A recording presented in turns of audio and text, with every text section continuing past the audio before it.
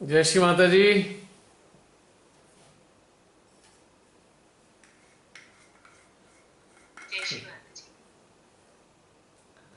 लगा कुछ तंत है हमारे भीतर।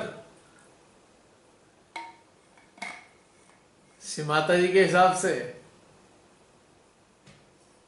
बन रहे हैं। बन रहे हैं कुछ नज़र आता है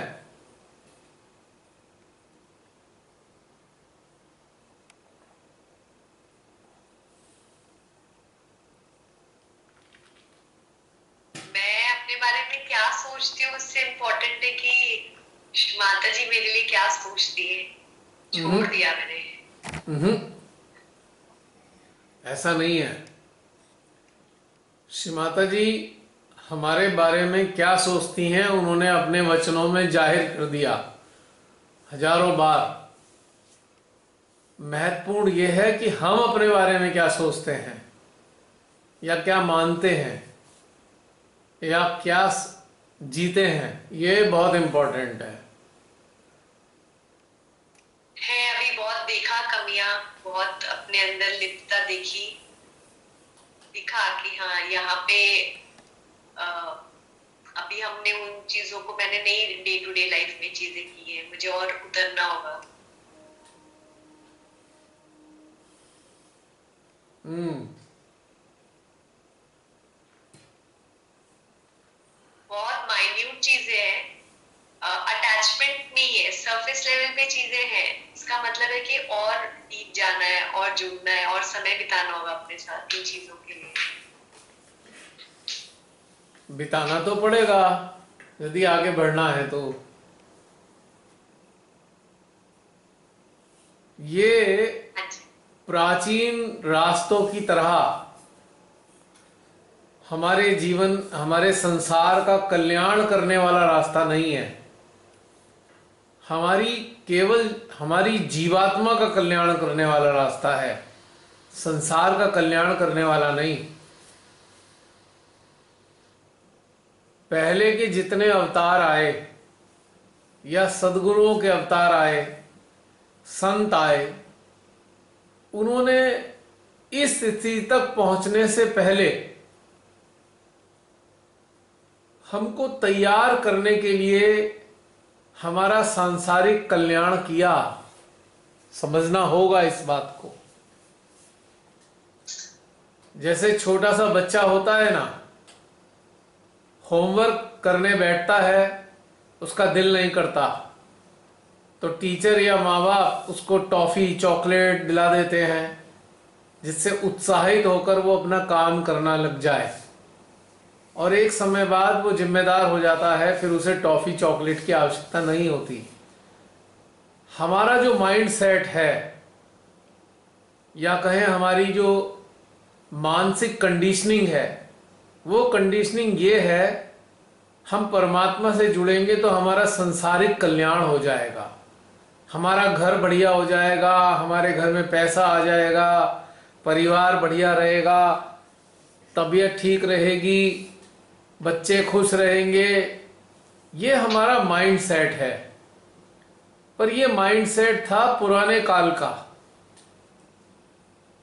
इस काल में तो संसारिक कल्याण की सोचना भी पाप है। अपनी मेहनत से संसारिक कल्याण करने की सोचें, ओके है। लेकिन हम परमात्मा से चाहें कि हमारा संसारिक कल्याण कर दे तो ये बिल्कुल पाप की श्रेणी में आता है। हालाँकि श्री माता जी ने उत्साहित करने के लिए बहुत सारी बातें कही हैं। तुम्हारा ये हो जाएगा, तुम्हारा वो हो जाएगा, तुम्हारे घर में संभाल लूँगी, सब कुछ कर लूँगी। वो संभालती भी हैं, पर हमको टेक इट ग्रांटेड नहीं लेना चाहिए, क्योंकि हमारा ये जो काल है, केवल और केवल चेतना के उत्थान के लिए है। और जब तक चेतना का उत्थान नहीं होगा तो हमारी जीवात्मा का भी कल्याण नहीं होगा। और हमारी जीवात्मा का कल्याण नहीं होगा तो हमारी जीत, जीवात्मा जीवित अवस्था में भी कल्पेगी और शरीर की मृत्यु के बाद फिर भटकेगी। निश्चित तौर से कोई नहीं बदल सकता इस सत्य को। यदि चेतना को उन्नत नहीं किया तो ये सत्य बदलेगा नहीं। लास्ट सदगुरु थे साईनाथ। उनके जीवन का विवरण कहीं भी हम देखते हैं, पढ़ते हैं, सुनते हैं या सीरियल में देखते हैं तो लोगों के कष्ट दूर करते रहते थे वो। कोई तड़प रहा है, उसका कष्ट दूर कर दिया। लेकिन ये कष्ट दूर करने के पीछे कहीं ना कहीं एक उद्देश्य रहा कि एक समय बाद यही जीवात्मा एक नए शरीर के अंदर होगी और तब इसको माँ के द्वारा जागृति मिलेगी और तब यह चेतना अपनी जीवात्मा के कल्याण के ही कार्य करेगी, ना कि सांसारिक कल्याण के लिए। परमात्मा से प्रार्थना करेगी या उम्मीद करेगी। ये मेरा एक अंदरूनी समझ है इस काल के बारे में। आत्म साक्षात्कार प्राप्त होने का मतलब ही केवल और केवल जीवात्मा का कल्याण है, ना कि संसारिक कल्याण। 99.9 परसेंट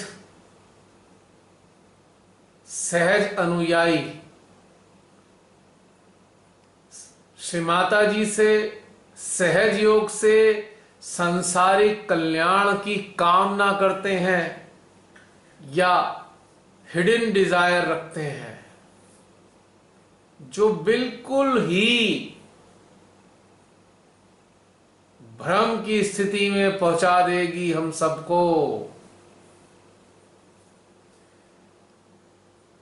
सभी लोग अनेकों यंत्रों के माध्यम से सहज में आए हैं, ज़्यादातर लोग। और अनफॉर्चुनेटली उन सभी माध्यमों ने अक्सर ये कहा है कि तुम्हारा संसारिक कल्याण होगा, तुम्हारा स्वास्थ्य अच्छा हो जाएगा, तुम्हारे को किसी चीज़ की कमी नहीं रहेगी, क्योंकि श्रीमाता जी ने कहा था। इसमें कोई शक नहीं जी ने कहा है। लेकिन कितने बरस पहले कहा है, ये भी याद रखना चाहिए।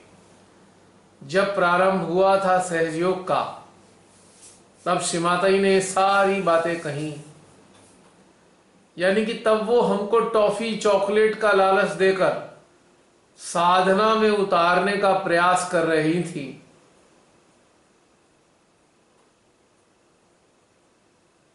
उन्होंने गुड़ से गुड़ बात बता दी, उन्होंने श्री कलकी की बात बता दी, अपने गमन की बात बता दी, और फाइनली साकार रूप में उनका कार्यकाल समाप्त हुआ। तो कहीं ना कहीं उनके हृदय में शायद ये भाव रहा होगा कि अभी मैं 30-40 साल 1970 से लेकर 10-20 साल तक उन्होंने सारी बातें बताई, उत्साह बढ़ाया, ज़िम्मेदारी ली सहजियों की। और शायद कहीं उन्होंने ज़िम्मेदारी लेते हुए ये विचार किया होगा कि कुछ काल बाद ये सारे जो सहजी हैं, ये ज्ञानी हो जाएँगे और अपने पाँव पर खड़ा होना प्रारंभ कर देंगे आध्यात्मिक रूप से। और तब ये मेरे से संसारिक कल्याण के लिए प्रार्थना नहीं करेंगे, क्योंकि जागृत हो जाएँगे, जान जाएँगे कि हमें ये मांगना ही नहीं है। हमें स्वास्थ्य नहीं मांगना, हमें धन नहीं मांगना, हमें अपने परिवार का कल्याण नहीं मांगना। हमको मांगना है हमारी जीवात्मा का कल्याण। और इस मांग के साथ, इस प्रार्थना के साथ समय लगाना है। अपने यंत्र पर, अपनी चेतना पर, इसके उन्नत होने के लिए। तो आज वही काल है। और इस काल में अपने अंदर झांकना होगा। अपने अंदर उतर कर देखना होगा। कि आखिर हम चाहते क्या हैं? ध्यान से, सहयोग से, श्रीमा से क्या चाहते हैं हम? स्वयं से, या अपने आप को निर्थक भ्रमित तो नहीं कर रहे? भ्रम में तो नहीं। हमारा जीवन कठिनाइयों से निकलकर शांत व संतुलित हो गया। तो क्या हमारे अंदर इस जीवन को भोगने की इच्छा तो बलवती नहीं हो गई? यदि ऐसा है तो बहुत घातक है। अलार्मिंग सिचुएशन है। यदि हम अपने जीवन को भोगने के लिए इच्छा रखते हैं या चिंतन करते हैं और इसके विपरीत, यदि हम माँ के यंत्र बन के उस यंत्र के तौर पर निरंतर कार्यशील हैं, निरंतर कार्यरत हैं, तभी जाकर हमारी जीवात्माओं का कल्याण होगा। ये बात अपने अंदर हम सबको बैठा देनी चाहिए।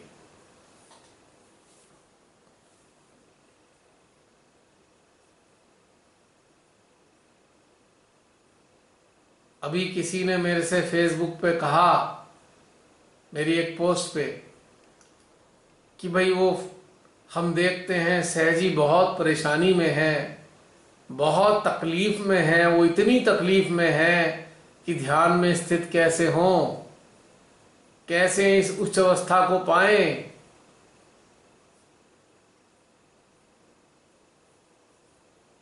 तो हमने केवल उनको इतना ही कहा।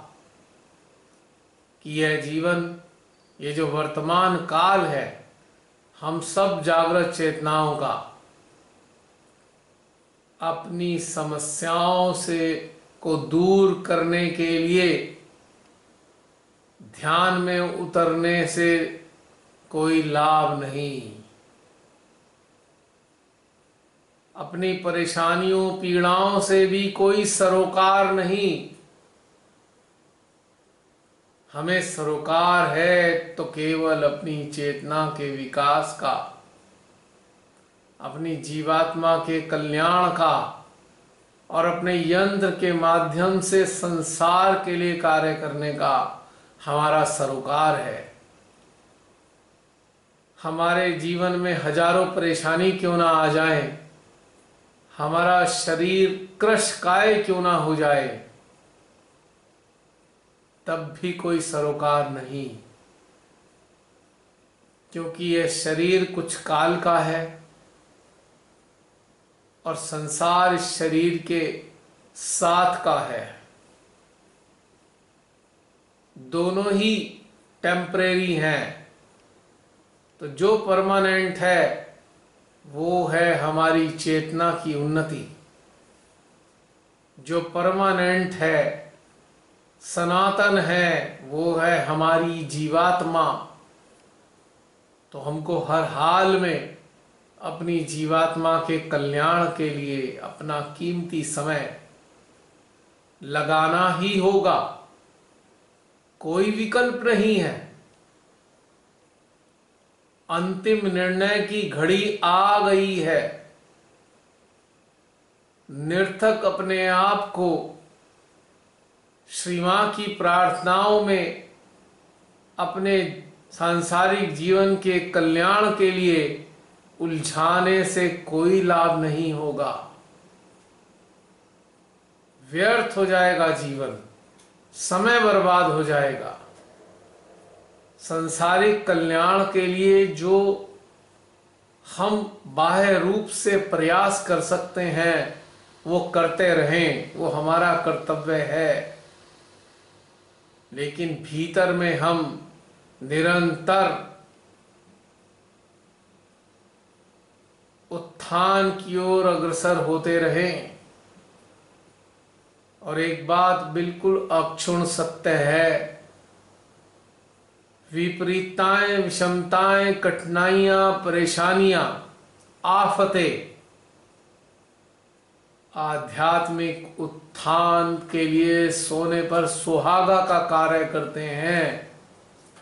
यदि हम सही मायने में जागरूक हैं, ये वो अवसर हैं जो तीव्रता के साथ हमारे उत्थान की गति को बढ़ा देते हैं।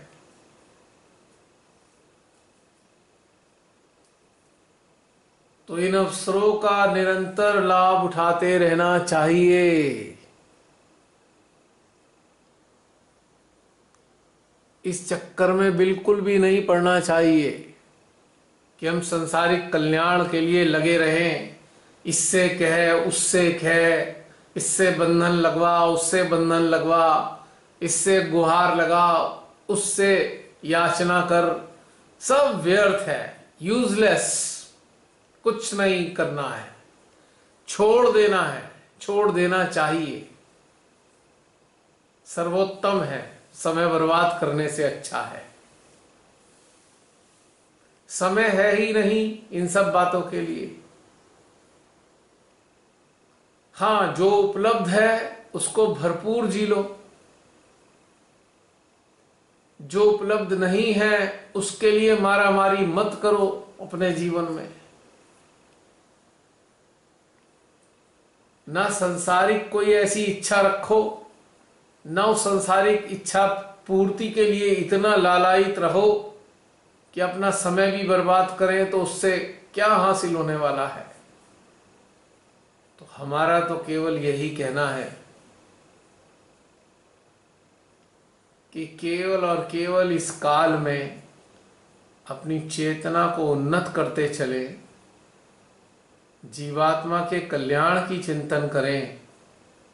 हाँ जीवन मस्ती से काटे, विषमताओं में भी मस्ती होती है, यदि समझे तो। मस्ती एक नज़रिया है, परिस्थिति नहीं है। परिस्थितियाँ कोई सी भी हो कठिन से कठिन परिस्थितियों में भी आनंद उठाया जा सकता है। इसमें कोई बिल्कुल शक शुबा है ही नहीं।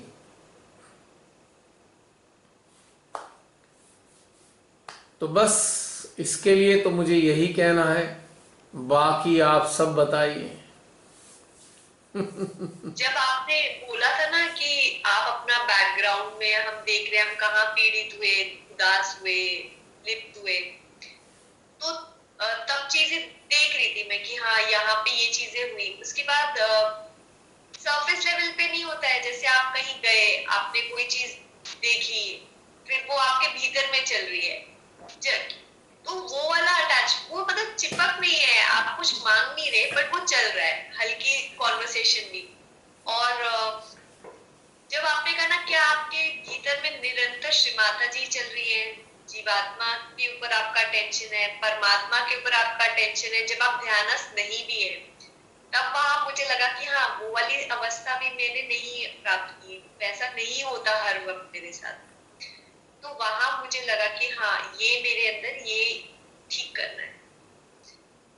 ऐसे जैसे हमें मतलब कोई चीज़ बाहर की तौर पे वेट नहीं कर रहे, क्योंकि हमने अपने जीवन में, हमने एक्सेप्ट कर लिया और बेटर ही है, जो भी है, पर अभी ये वाली चीज़ कमी है, ये चीज़ को ठीक करना है।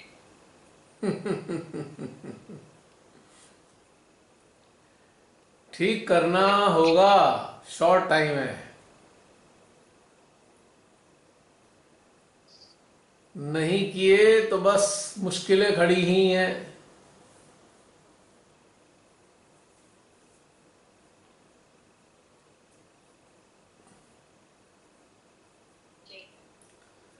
जैसे कि एक पेशेंट होता है ना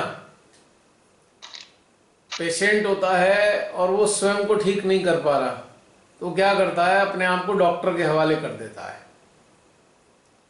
और निश्चिंत हो जाता है, भाई अब देख लेगा डॉक्टर मेरा जो करना है कर देगा। सर सरेंडर कर देता है वो अपने आप को।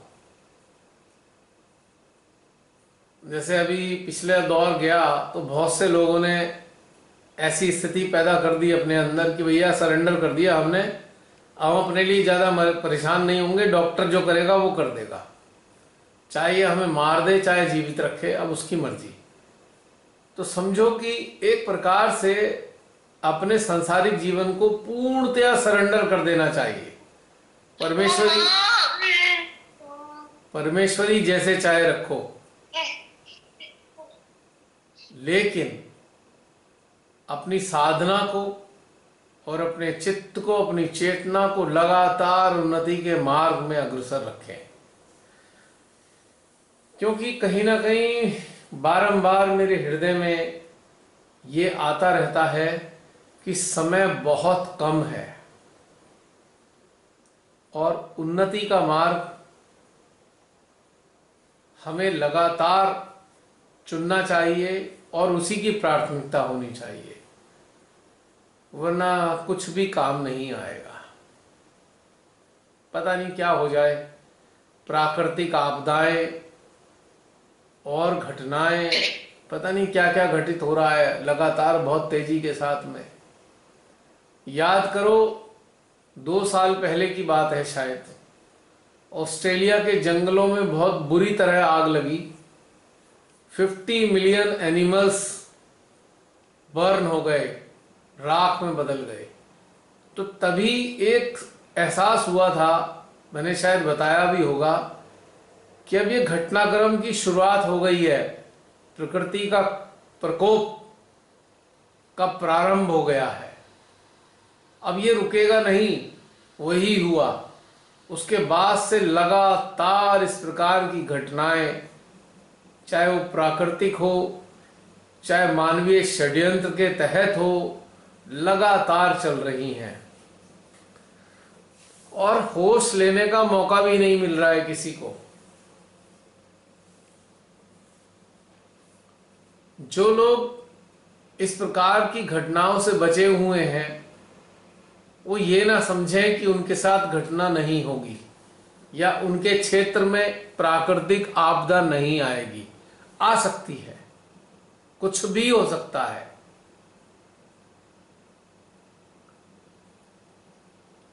किंतु हमें अपने आत्मिक उत्थान की ओर निरंतर अग्रसर होते रहना होगा। उसे नहीं छोड़ना है, चाहे कुछ भी हो जाए। अच्छे से जीवन जी सकते हैं, लेकिन प्रायोरिटी वाइज टॉप प्रायोरिटी चेतना का विकास सेकंड प्रायोरिटी अपने सांसारिक जीवन का विकास और थर्ड प्रायोरिटी इस जीवन से जितना आनंद मिल सके, उसको ग्रहण कर लें। बाकी की कोई आवश्यकता रह ही नहीं जाती। मेरा तो ये मानना है एटलीस्ट जैसा मैं हमेशा कहता हूँ कि जो मिले उसे प्रसाद मानो, जो ना मिले उसे आशीर्वाद मानो तो समस्या खत्म। चलिए और बताइए आप लोग।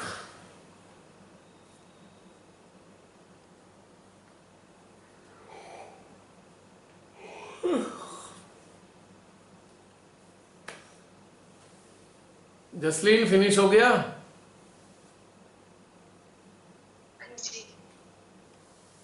और अन्य कोई वार्तालाप करना चाहें अपना कुछ शेयर करना चाहें।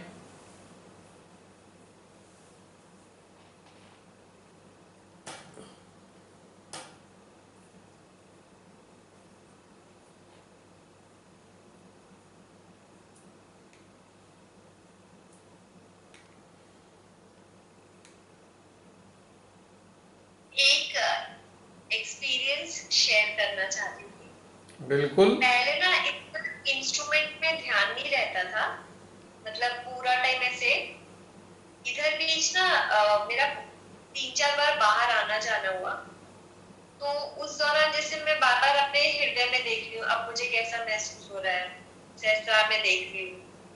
ऐसे करके जैसे जैसे मैं फील करती जा रही हूँ ना फिर मुझे लग रहा है या तो मुझे अच्छा ही नहीं लग रहा। ये तो एकदम बोगस है। तो फिर मैंने कहा तो पहले हम इतना न्यूसेंस एंजॉय कर रहे थे। हाँ, तो फिर मुझे लगा ये तो बिल्कुल अच्छा नहीं है। ऐसे करके चेंज फील किया। तो पहले हम हंस लेते थे। अभी भी मैं हंस रही हूँ, पर जैसे ही मेरा चित अंदर जा रहा है, फिर मैंने कहा, नहीं, अब तो मुझे हँसी नहीं आ रही। अब तो मुझे बहुत मज़ा नहीं आ रहा है। फिर मेरे को लगा हाँ इतना टाइम वेस्ट करा। करके एक्सपीरियंसेस किए मैंने। और इस तरीके से।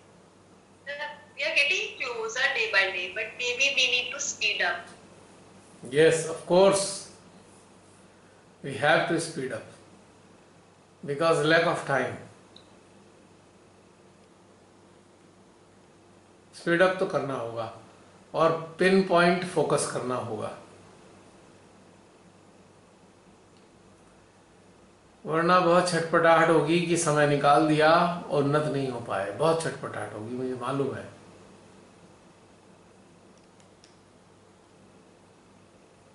समझ लीजिए पूरा विश्व एक संकट में है आज की तारीख में।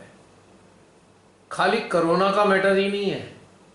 और भी बहुत सारे संकट हैं जो धीरे धीरे सामने आ रहे हैं और आते जा रहे हैं लगातार। अगर मैं इसे ये हाँ, कहूँ अगर मैं इसे ये कहूँ कि ये विपदा काल है तो कोई अतिशयोक्ति नहीं होगी। हाँ क्या कह रहे थे जसलीन? जैसे बाहर अगर हम चीज़ें देखते हैं ना तो मतलब मन इतना ज़्यादा खराब हो रहा है हर चीज़, और सैटेनिक फोर्सेस इतनी ज़्यादा पावरफुल और एक्टिव हो रही है, ऐसे आप देख पा रहे हो अफ़गानिस्तान में क्या चल रहा है कॉन्स्पिरेसीज क्या है कोरोना क्या है, बाकी इंडिया में क्या चल रहा है, लोगों के साथ क्या हो रहा है, और अब होने वाला है एंटिसिपेट नहीं कर रहे लोग। मतलब बहुत ऐसे लगता है कि कैसे सरवाइव होगा, ये वाली फीलिंग तो आ ही रही है। कि हम देख रहे हैं जैसे इतना हर चीज़ डिटोरिएट हो गई है और इतनी बियॉन्ड रिपेयर डैमेजेस डैमेजेस हो रहे हैं। अगर मेरे जैसा इंसान इसको किस तरीके से लेता जानते हो? कि जितनी तेज़ी से डिटोरेशन हो रहा है उतनी ही तेज़ी से भीतर की अंदर चलना शुरू कर देना चाहिए।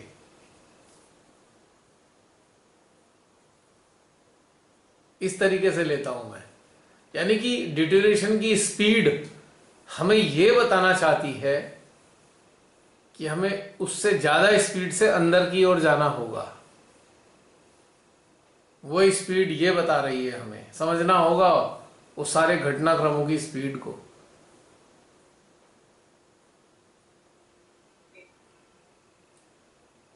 अब वो चीज़ें पूरी करने का समय नहीं है कि हमने बड़ा सोचा था, हम ऐसा करेंगे, वैसा करेंगे, है ही नहीं टाइम इधर जाना ही नहीं है अब इधर की तरफ़। कि संसारिक स्तर पे हमने क्या सोचा था, क्या करना चाहते थे, अब हम वो वाली इच्छा पूरी करें, वो नहीं है समय, बिल्कुल नहीं है। हो जाए तो ठीक, ना हो जाए तो भी ठीक। उसकी तरफ़ समय बर्बाद नहीं करना कोई भी, किसी को भी। हाँ ऑन द वे वो चीज़ पूरी हो जाती है इट्स ओके लेकिन अगर रास्ते से हटकर हम जा रहे हैं वहाँ तो मामला गंभीर है। फिर हमें हानि होगी, नुकसान उठाना पड़ेगा।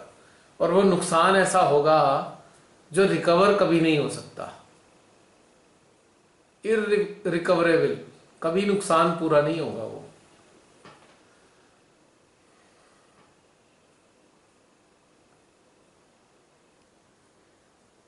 जैसे है कि किसी को तलब लगी कि भाई रसमलाई खानी है और कोई दिल्ली की तरफ़ जा रहा है, उसको तलब लगी रसमलाई खानी है।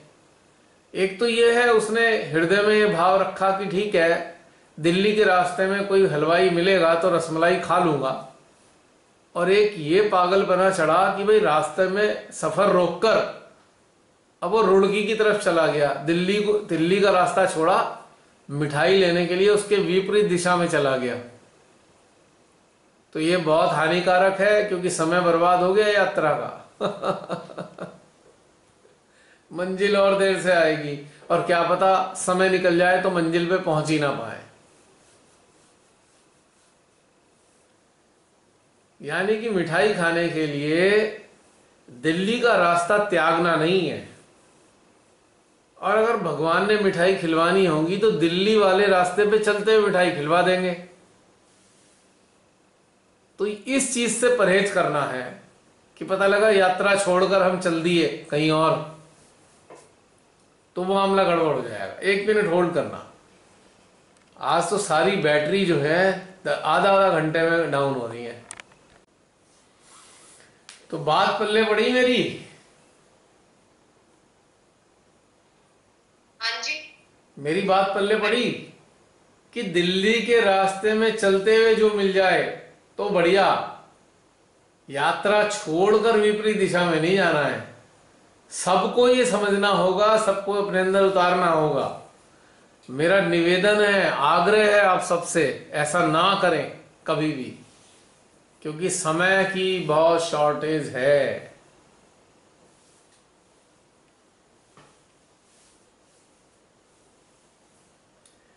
मुझे पता है, सब लोगों के सामने ऐसी अच्छी अच्छी चीज़ें भी आ रही हैं आजकल।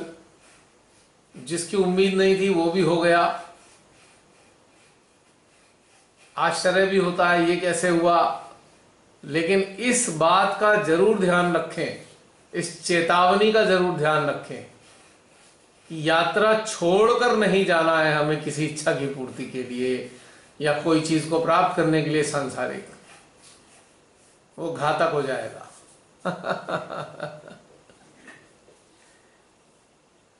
क्योंकि आप दिल्ली से विपरीत रास्ते पे चलेंगे। जितनी दूर उससे दूर चले गए दिल्ली के रास्ते से, वापसी में उससे दुगना टाइम लगेगा। डबल टाइम वेस्ट हुआ। एक जाने में टाइम वेस्ट हुआ और एक वापस पलटने में टाइम वेस्ट हुआ। और तीसरा टाइम जितना समय इस जाने और वापस आने में लगाया है, उससे ज़्यादा समय में आप दिल्ली के और नज़दीक पहुँच जाते। तीन प्रकार के समय का लॉस हुआ है। ये समझना होगा। हमारे बहुत से सहजी संसारिक चीज़ें जो प्राप्त होती हैं, उनको माँ का आशीर्वाद मान के खुश हो जाते हैं। खुश होना ही चाहिए और मानना भी चाहिए कि माँ का आशीर्वाद है। किंतु उस आशीर्वाद को प्राप्त करने के चक्कर में अपनी यात्रा को बंद ना करें या यात्रा से विपरीत दिशा की ओर ना चल पड़े। ये चीज़ बहुत आवश्यक है समझनी।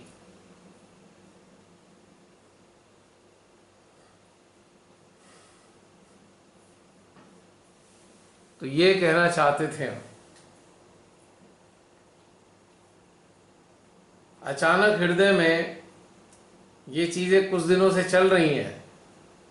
पिछले दस पंद्रह दिनों से कि भाई समय बर्बाद मत करो किसी भी स्तर का।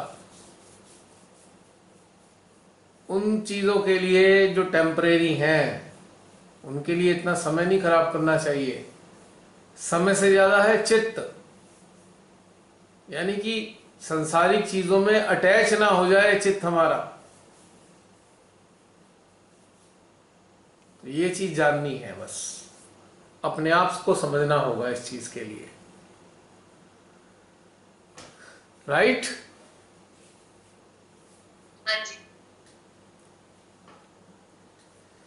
और कोई जसलीन के अतिरिक्त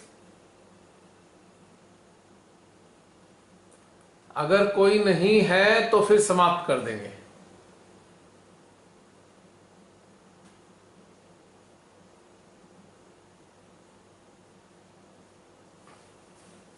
प्राची अब बोल दो।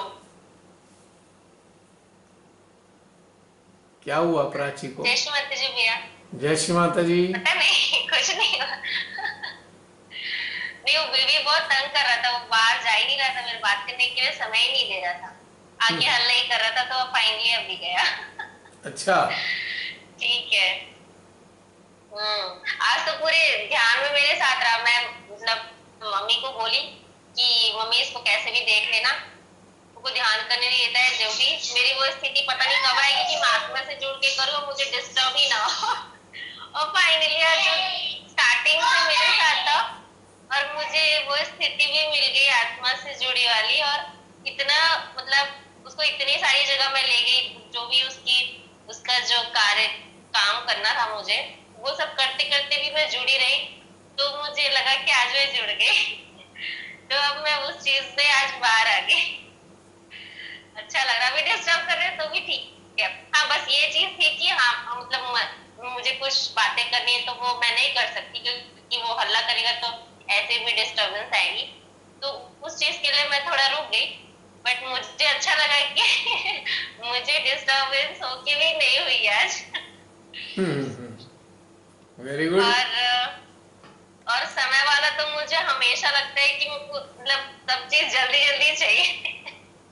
और मतलब एक तीव्रता की अनुभूति मुझे अपने अंतकरण में हमेशा होती रहती है कि और जाना है और जाना है और जाना है और जाना है। मतलब पाना है और वो माध्यम वो यंत्र वो सामर्थ्य भी हासिल करना है वो चीज़ें हो भी जाती है मतलब बट कई बार आ, हम अपने आप पे मतलब कई बार माइंड आ जाता है हमको पता रहता है कि मतलब वो चीज़ें हैं हम यंत्र है हर चीज़ है ये हमारा माइंड कई बार हमको कंफ्यूज करने लगता है फिर उससे बाहर आते हैं अरे क्या सोचते हैं?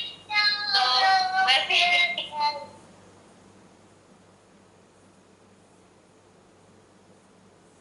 तुम्हारी आवाज़ बंद हो गई। हाँ ये हल्ला करने आ गया ना ठीक है तो फिर अब मतलब अब फिर से वो तीव्रता ये सब चीज़ें आपने कही तो वो और बढ़ गई और अब नहीं बुझेगी। वेरी गुड वेरी गुड बहुत अच्छी बात है ये तो। अब देखो तुमने एक रास्ता पाया ना मान लो बच्चा बहुत तंग कर रहा है। अब तंग करते करते भी कैसे जुड़ी रहूँ आत्मा से? अपनी चेतना से कैसे जुड़ी रहूँ? हाँ। ध्यान में कैसे जुड़ी रहूँ? तो यही तो तो यही तो चीज़ें हैं जो हमें अभ्यास से अपने आप को व्यवस्थित कराती हैं। हर स्थिति में रहना सिखाती हैं हर स्थिति में ध्यानस्थ रहना सिखाती हैं। यही तो वो चीज़ें हैं। यही अभ्यास तो सबसे सुंदर है कि दुनिया भर की चीज़ों को करना भी है, लेकिन हमारी अंदरूनी यात्रा रुकनी भी नहीं चाहिए, किसी भी कीमत पे, क्योंकि वो टॉप प्रायोरिटी पे होनी चाहिए टॉप प्रायोरिटी जैसे इंजन देखा है ट्रेन का, इंजन आगे होता है जनरली और डब्बे इतने सारे खींच के जा रहा होता है, वो इंजन सारे डब्बों को खींच लेता है। तो समझ लो, ये मार्ग प्राथमिकता के तौर पर इंजन जैसा है। जब ये चलेगा तो सारा जीवन रूपी डब्बे अपने आप ही चलते रहेंगे। अगर ये रुक गया तो बाकी डिब्बे भी रुक जाएँगे, इसे ऐसे समझना चाहिए। अज्ञानतावश लोग क्या करते हैं? वो सोचते हैं डब्बे अपने आप चल जाएँगे। असंभव। आध्यात्मिक जीवन रूपी इंजन ही तो हमारे संसारिक डिब्बों को खींचता है। तो टॉप प्रायोरिटी यही होनी चाहिए कि ये इंजन चलता रहे ताकि हमारा बाकी का जीवन भी इस इंजन के सहारे चलता रहे। और ये वास्तव में इंजन है इसीलिए मैंने इसे टॉप प्रायोरिटी की कैटेगरी में डाला है। तो प्राची समझ में आया? आज तुमने प्रैक्टिकल किया है।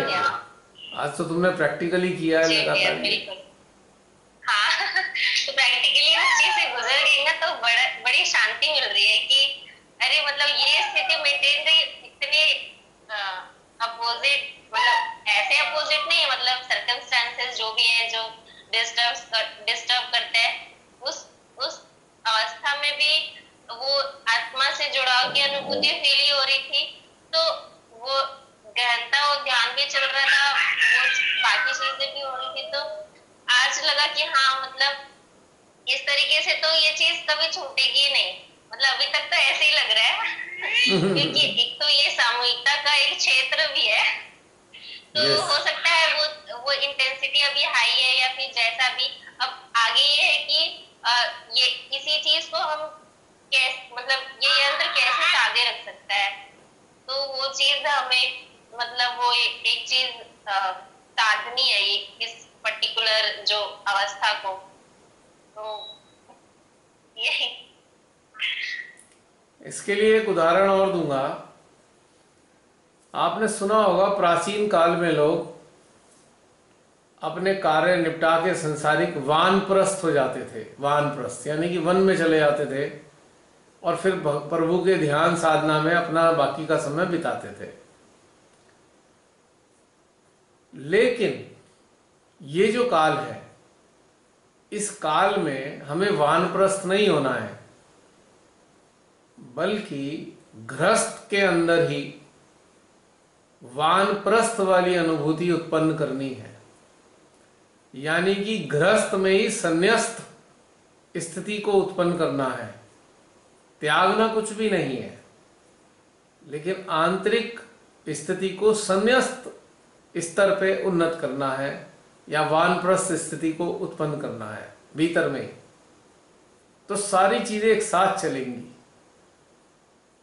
हम ही लोग शायद पिछले जीवनों में साधना के लिए पहाड़ों की गुफाओं में या जंगलों में जाकर तपस्या करने गए होंगे।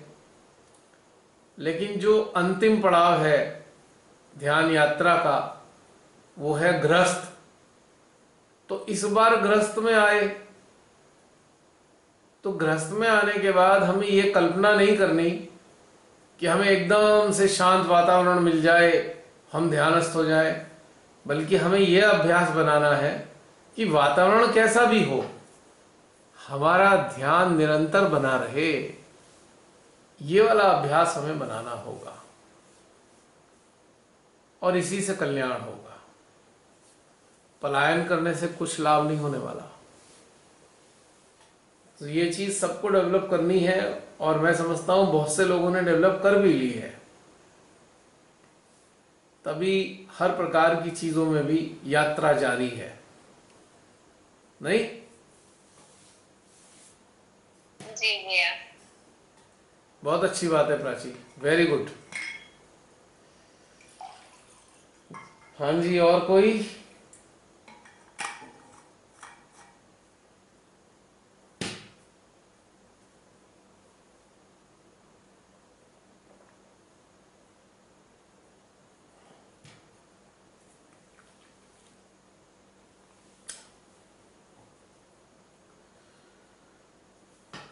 अभी अभी चौबीस लोग हैं।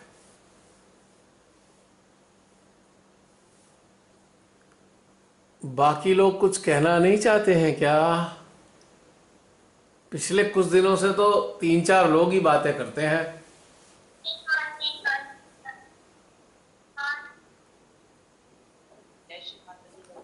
जय श्री माता जी। जी बहन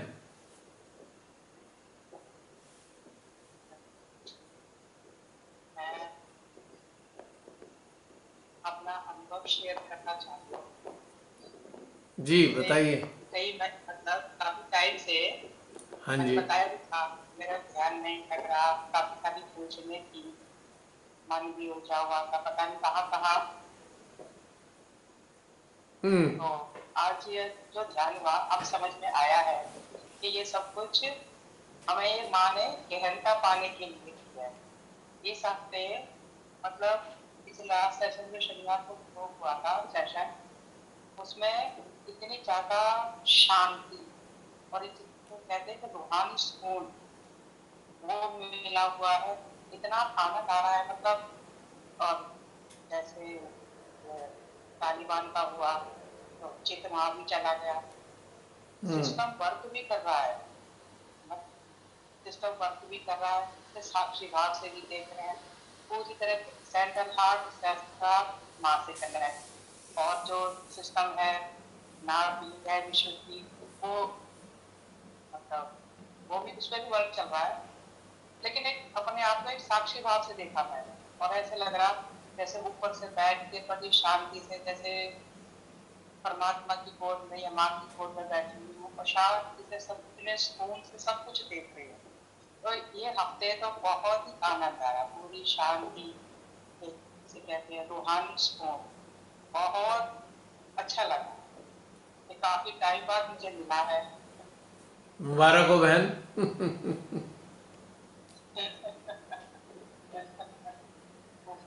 सभी को क्योंकि सारी कलेक्टिविटी साथ ही चलती है।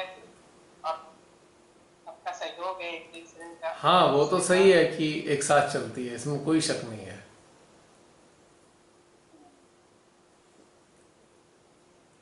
बस इस कलेक्टिव का आभास करते रहना चाहिए लगातार। भले ही हम बैठे या ना बैठे, भले ही वो जूम सेशन हो या ना हो, भले ही रात की दस बजे हो या ना बजे हो, पर कलेक्टिव को अपने साथ जोड़े रखिए अटेंशन के ज़रिए। सभी लोग एक दूसरे के साथ कनेक्टेड रहिए।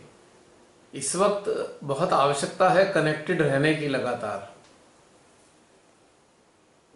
क्योंकि बहुत कुछ गड़बड़ सड़बड़ चल रही है सारी दुनिया में। इस हफ़्ते बहुत सूक्ष्म तरीके से समझ में आया। अपना सिस्टम भी अपनी शांति भी। हम्म। तो आप समझ रहे हो? बिल्कुल समझ में आ रहा है मेरे को। नहीं मिल रही थी। मुझे काफ़ी टाइम से नहीं मिल रही तो जो भी कुछ हुआ माने किसी आज के शांति के लिए ही किया गया है। जैसे कि आप ध्यान में बताया कि जो भी कुछ हो रहा है इसे हम साक्षी भाव से देखें और अपनी गहनता को प्राप्त करें बस। आपने श्री महादेव का सीरियल ज़रूर देखा होगा पिछले दिनों चला। जी। तो उनकी एक स्टेटस श्री महादेव का एक चीज़ रहती थी। दृष्टि सब पर है उनकी पर वो निष्क्रियता के साथ साक्षी भाव में बैठे हैं। हाँ मतलब अटेंशन में सब कुछ है उनके। पर वो कोई प्रतिक्रिया नहीं करते। निष्क्रिय हैं, बस। यही वाली चीज़ों को हमें अपने अंदर जनरेट करना है कि हमारा अटेंशन तो कार्य करे, पर हम उन चीज़ों से विचलित ना हो और अपने कार्य से पीछे ना हटे। और साक्षी भाव में लगातार कार्यरत रहें। श्री महादेव वाली स्टेट में। वैसे ही स्थिति को अपने अंदर धारण करना चाहिए। और वो सबसे बढ़िया चीज़ है, सर्वोत्तम होती है। क्योंकि वो जानते हैं महादेव श्री महादेव ये जानते हैं कि जो एक घटनाक्रम है, वो घटनाक्रम तो गतिशील रहेगा, पर हम उस घटनाक्रम की गतिशीलता के अंदर हम क्यों गति करें? हम साक्षी क्यों ना हो जाएँ? नहीं हाँ जी अब ये दो तीन बार से मतलब दो तीन सेशन से लास्ट ये महसूस भी हो रहा है कि माँ सिस्टम को अपने आप ही लेती है अपने आप ही बात को होता है अपने आप ही सही हो जाता है। मतलब कुछ ना प्रेयर करने की ज़रूरत पड़ती है। जैसे एक छोटा सा अनुभव शेयर करते हैं। लास्ट टू लास्ट मंडे अपने आप ही सिस्टम बंद करने लगा। पता चल रहा था राइट साइड है पता नहीं किसका आ रहा है। मैं देख रही थी साक्षी वास। हम्म। जैसे ही अगले दिन न्यू कमर का सेशन था कुछ न्यू है उन्होंने सिखाने के लिए मैंने जूम आईडी डाली। उसके बाद हाँ उस, उस दिन मेरा सेंट्रल हार्ट अपने आप बंद हो गया। पहली बार मुझे महसूस हुआ सेंट्रल हार्ट बंद होना और राइट साइड की हीट निकल रही थी लेकिन जैसे ही अगले दिन न्यू कमर के लिए जूम आईडी डाली अपने आप सेंट्रल हार्ट खुल गया। और हम्म। मुझे ठंडा सहसा अपने आप आने लगा। मैं देख रही थी मैंने कहा मैंने तो कुछ भी नहीं किया कुछ मैंने मतलब कोई प्रेयर नहीं करी। मगर अब मतलब लगता है माने अपने श्री चरणों में ले लिया है। एक्चुअली ये जो आपने बताया ये हुआ क्या जानते हैं? मान लीजिए आपने न्यू कॉमर्स के लिए कोई सेशन लेना था आपने बताया जैसे अभी। हम्म, आपका चित्त जब उन पे गया तो उनके यंत्र की स्थिति आपके सिस्टम में आई।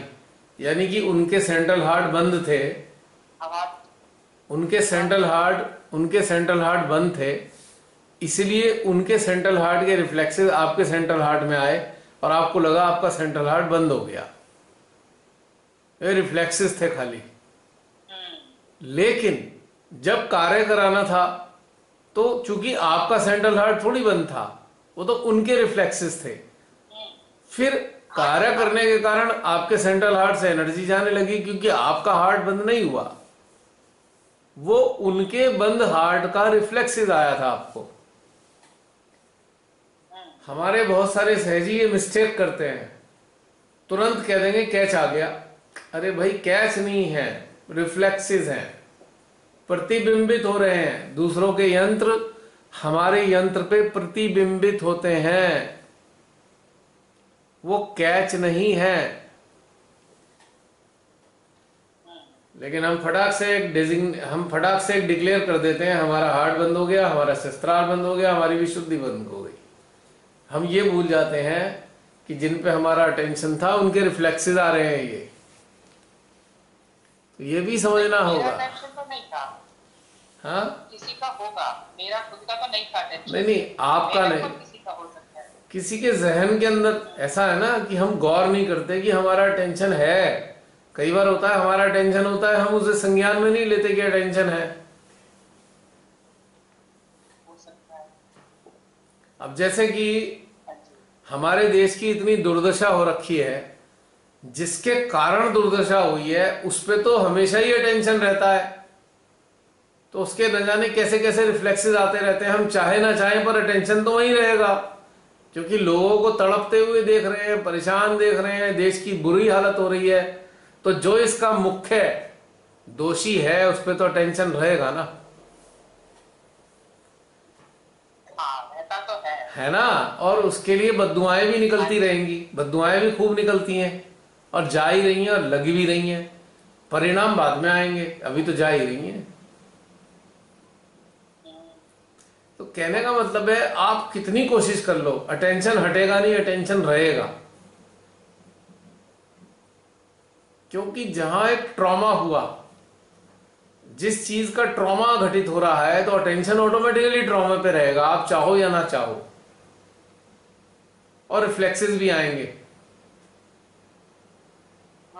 रिफ्लेक्शंस तो जो भी सहजी जो भी सहजी मानवता का बचाव करना चाहते हैं या जो मानवों से प्रेम करना चाहते हैं प्रकृति से प्रेम करते हैं परमात्मा से प्रेम करते हैं ऐसे साधक साधिकाओं का चित्त ऑटोमेटिकली बुराइयों पर रहता ही है ताकि धीरे धीरे वो बुराइयाँ नष्ट हो सके। आप कुछ भी कर लो जाएगा अटेंशन वहीं रहेगा ही वहीं पे ही। भी है और ढूंढता भी है कई बार तो। हाँ। क्या है? और जब ऐसा होता है तो उसके रिफ्लेक्सेस हमारे यंत्र पे आते ही आते हैं ये भी कोई नहीं रोक सकता हाँ जी। अब हम इन चीज़ों को जानना चाहते हैं कि आज हमारे अंदर ऐसा हुआ तो क्यों हुआ? तो हमको याद रखना पड़ेगा कि हमारा अटेंशन कहाँ था? हम क्या कर रहे थे? हमारी चेतना कहाँ थी? हमारा मन कहाँ था? तो इससे हमें आपको इससे पता लग जाएगा हमें कि वास्तव में हुआ क्या। ज्ञान मिलेगा इस चीज़ से। जागरूक रहना हाँ, चाहिए कुछ कुछ बस तो समझ में नहीं समझ में तो आया कि आ गया था कहाँ गया तो लेकिन ये है मतलब ये मेरा कहने का मतलब है कि मैंने कोई प्रार्थना नहीं की सिस्टम अपने आप ही चल रहा था अपने आप ही खुला। अब अब प्रार्थना वाले मोड से हट गए हैं ना। जूम पर तो हम सबकी सुविधा के लिए प्रार्थना कराते हैं जूम पर क्योंकि जूम में बहुत सारे नए लोग आने वाले समय में जुड़ते हैं। जब आज का जो वीडियो बनेगा, उसे चार पाँच महीने बाद जो नए लोग देखेंगे तो ये प्रार्थना उन लोगों के लिए होती है। आप लोगों के लिए नहीं है ये प्रार्थना। क्योंकि वो लोग उस अवस्था में नहीं है अभी। उन्हें प्रार्थना ही चीज़ समझ में आएगी, प्रार्थना कर लो पहले। क्योंकि यही समझा है आज तक। लेकिन अब हम लोग जिस तरीके से कनेक्टेड है ना, हमें कुछ करने और बोलने की आवश्यकता नहीं है। There is no need at all अगर हम कनेक्टेड हैं तो हमारा सिस्टम ऑटोमेटिकली कार्य कर रहा होता है। ये तो ये तो सबको एक पॉइंट पे फोकस करने के लिए बोला जाता है। अन्यथा बोलने की आवश्यकता नहीं है। अब चूँकि ये जूम सेशन है, और जूम सेशन में गाइडेड मेडिटेशन घटित होना है तो कुछ ना कुछ बोलना पड़ेगा, ताकि सभी चेतना एक प्लेटफॉर्म पे आ जाए। अन्यथा साधक साधिकाओं की स्थिति ऐसी भी आ रही है कि जहाँ पे कुछ बोलने की आवश्यकता ही नहीं है। ऑटोमेटिकली सिस्टम काम कर रहा होता है। ये वीक से महसूस किया मैंने हम्म। और इस वीक तो और भी ज़्यादा। पूरी तरह से बिल्कुल कहते हैं रूहानी सुकून मतलब आत्मिक शांति मुझे शब्द नहीं पता। आने वाले समय में आने वाले समय में जूम सेशन में शब्द बहुत कम हो जाएँगे।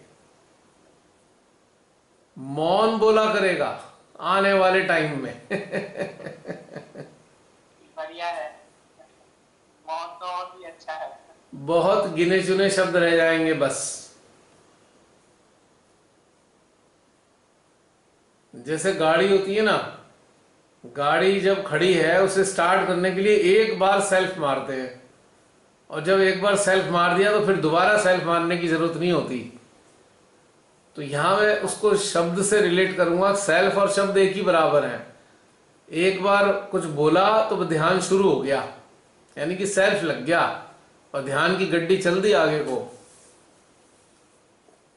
तो आने वाले समय में शब्द बहुत कम होने वाले हैं। ऊर्जा बोलेगी, मौन बोलेगा। आपकी जीवात्मा बोलेगी, आपकी चेतना बोलेगी, आपकी आत्मा बोलेगी। शब्द गुम हो जाएँगे। हम सबकी यात्रा उसी तरफ़ है।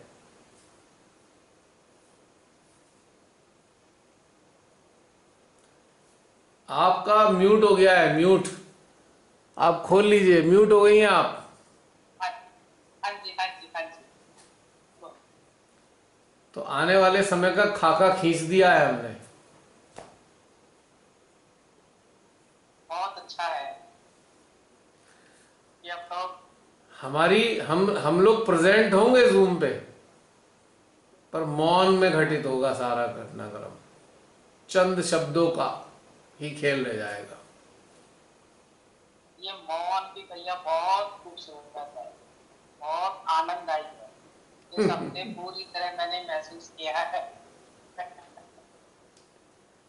पंद्रह एक दिन से तो बहुत अच्छे से। धीरे धीरे अपडेट और अपग्रेड होती है ना चीज़ें। काल के मुताबिक है। हाँ जैसा काल जैसी स्थिति जैसी परिस्थिति वैसा ही ध्यान। हाँ अब चूँकि साधक साधिका जितने भी जुड़े हुए हैं वो धीरे धीरे उन्नति की तरफ़ ही जा रहे हैं। चंदी लोग हैं जो उन्नति के विपरीत नीचे की तरफ़ जा रहे हैं। फंस गए हैं, अपनी किन्हीं चक्करों में वो नीचे की तरफ़ जा चुके हैं। लेकिन जाए तक तो उन्नति की तरफ़ जा रहे हैं सहजी जिनका चित्त संसार में उलझ गया तो उन, वो उनकी अधोगति हो गई है शुरू। और जो ईश्वर से जुड़ गए हैं, उनकी उधर गति हो रही है, निश्चित रूप से। अब जो अधोगति की तरफ़ जा रहे हैं, वो कितनी कोशिश कर लें, स्थापित नहीं हो पाएँगे, जब तक बिल्कुल ज़मीन तक नहीं पहुँच जाएँगे। अब जैसे कि एक बिल्डिंग से आपने एक पत्थर को नीचे गिराया तो पत्थर हवा में रुकता नहीं है। वो नीचे जाते जाते बिल्कुल ज़मीन से जाके टकराता है, तभी रुकता है वो हाँ जी फिर चाहे कोई उस पत्थर को बाद में दोबारा उठाकर ऊपर पहुँचा दे, वो एक अलग बात है। लेकिन जब नीचे जा रहा होता है तो आदमी रुकता नहीं है। लेकिन जो ऊपर की तरफ़ जा रहा होता है, वो थोड़ा रुक रुक के चलता है। ये स्वाभाविक घटनाक्रम है ये। लेकिन नीचे वाले जाने वाले के लिए रोक कहीं नहीं होती है, अटकता कहीं नहीं होती सीधा नीचे धरती पे जाके ही गिर देगा पत्थर। तो इसी प्रकार से इस यात्रा पर चलने वाले यदि संसार की किसी चीज़ से चिपक गए तो वो बिल्कुल बॉटम लाइन तक ही पहुँचेंगे। निश्चित रूप से बीच में रुक नहीं सकते। कितनी कोशिश कर ले नहीं रुक पाएँगे। तो इसीलिए प्रारंभिक काल से ही अपनी स्थिति को इस प्रकार से बना के चलना चाहिए कि गिरने की नौबत ना आए। उसका सर्वोत्तम सर्वोत्तम उपाय है डिटैचमेंट संसार से रिलेटेड चीज़ों से धीरे धीरे डिटैच होते चलिए। अब देखिए, एक बहुत ही खूबसूरत एग्ज़ाम्पल है इस चीज़ का। एक मिनट।